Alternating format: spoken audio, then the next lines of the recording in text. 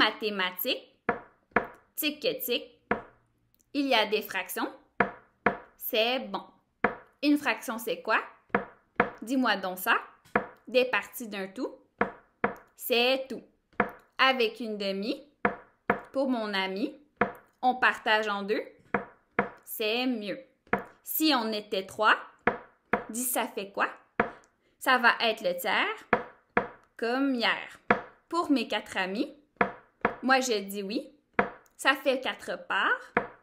Le quart. C'était les fractions. Eh bien, dis donc, tu as bien appris. Merci.